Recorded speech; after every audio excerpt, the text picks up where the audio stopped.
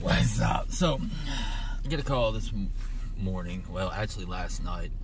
And uh, this morning, I sent the information to a friend who was telling me about the diagnosis they got. And I said, All right, here's exactly what needs to be done. Here's what you need to take.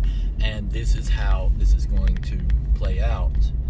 But remember this if you're not willing to change your lifestyle, then you're choosing to have no life.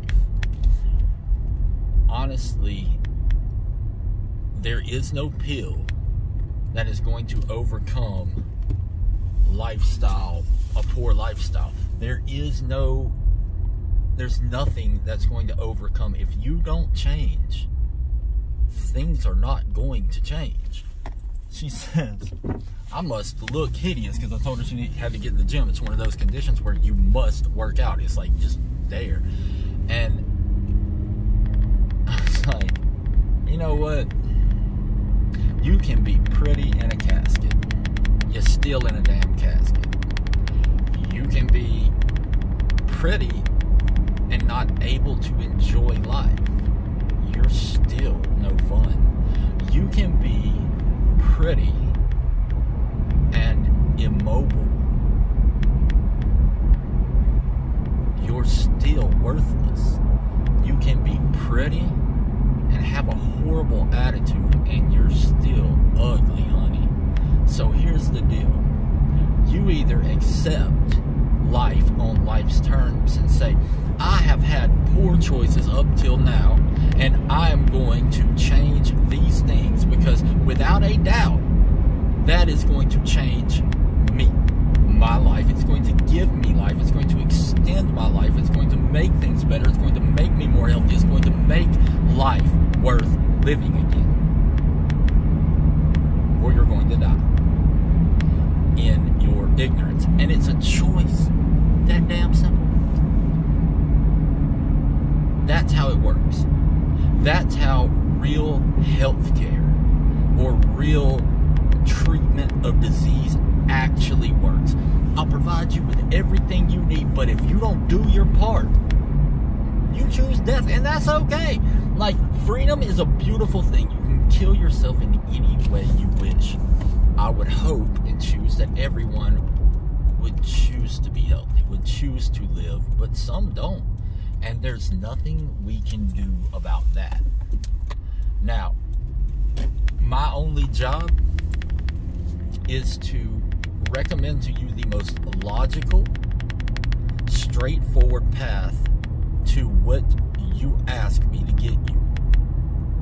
This means if you want to live and be healthy and happy and whole, I'm here to provide. If you want to get big and strong and even risk your life in the process, who am I to judge? I'll tell you how to get there. If you want somewhere in the middle, I'll do my best to meet what you lay out as your goal. But the more clearly you define that goal, the more easily I can assist. General terms lead to general recommendations. Direct and exact clarity in your goal will lead to a direct and exact path to get there very quickly. So, anyway, I just thought I'd let you know that it's kind of like, it reminds me of like raising kids.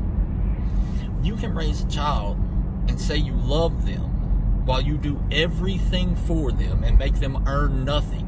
And when you're gone, they're worthless and they go to jail or they die from, you know, not being able to have self control. Or you can truly love that child and you can go, nope, you're going to pick your crap up. Yes, you're going to earn your way and you're going to earn your keep. And if you don't, then you're going out the door to see if you can make it on your own. That kind of love means when you're gone, they can make it without you. Now, the first feels good, the second is good. The choice is yours. You can create children that grow up to be big, but still children, inept, or you can create amazing individuals that can handle life and take life by her hand and lead her around and show her what she's going to do for them and enjoy every minute of it. But it's your choice as to what you're going to do. A few simple disciplines practiced every day equals success. A few simple failures repeated daily equals ultimate failure. We all have the choice. Choose wisely, daily, consistently. You'll get it. Love y'all. Newsarms.com. Seth Williams.